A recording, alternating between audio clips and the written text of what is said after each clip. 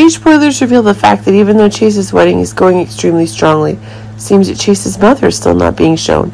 Jackie Templeton is expected to appear at Chase and Brook Lynn's wedding, but when Chase's own mother is unable to appear at her child's wedding, it's causing one of the new mysteries being acquired.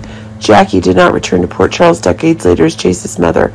Jackie's also not present in Chase and Brook Lynn, even though there are strong changes for themselves, new impositions, new changes, new hopes. For political changes, Chase's hopes for his mother's arrival are actually causing him to become increasingly disappointed. In fact, hardly anyone mentions her, which is causing one of the new twists. That exactly one of the new haunting is getting, which is causing the very stories of the secret that Jackie's keeping becoming more and more confirmed. Should be remembered that exactly the story Gregory is getting in his death is approaching, and it seems that Jackie is still not having the strongest comeback at her own husband's funeral, but really the heartbreak that Chase is getting is going further. But there seems to be new crisis coming.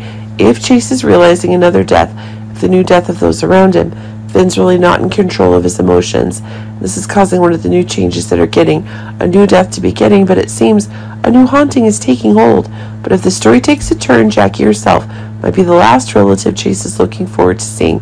But this is really making things painful. Remember that the actress playing the role of Jackie is having two people, but it seems accurate that actress Demi Moore herself is actually getting one of the new changes regarding herself possibly returning to GH for a moment.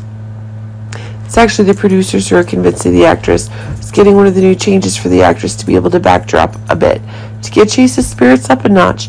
True, the main wedding storyline is expanding, but reports have the former TV journalist in Cannes receiving rave reviews for her new film, The Substance. In fact, this is causing the busyness, but really it's the changes that Demi Moore is still considering.